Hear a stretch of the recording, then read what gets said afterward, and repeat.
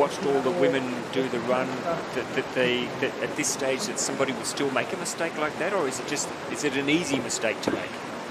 Yeah, a little bit surprised, but it is like you're in the moment and you feel like you have you will go for it, you know, and yeah, touch there for Mathieu Desnos, but yeah, I think they they going for it and then they yeah stop too early.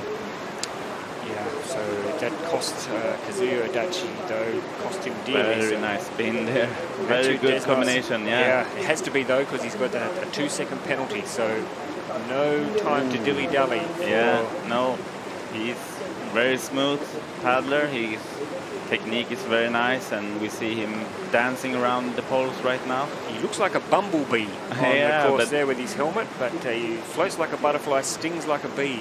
Yeah, making up time all, all the way around the course now, and yeah, I think if he keeps this up, he can definitely challenge the lead.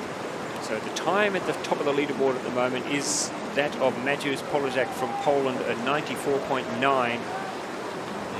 Yeah, I did say earlier on that I thought that some of our leaders might go close to the 90. I don't know now though. It's uh, it's going to be a bit of a challenge. Maybe 94.9 is in the ballpark. yeah, maybe. Here's where the race can be run or lost though. Yeah, now he's making the spin, and I don't know if that was another touch. Yeah, and yeah, it slips slips out of his hands, and Slips away. yeah, it's small mistakes, and yeah, four seconds on penalty as well is Yeah. a bit too much. Yeah, yeah.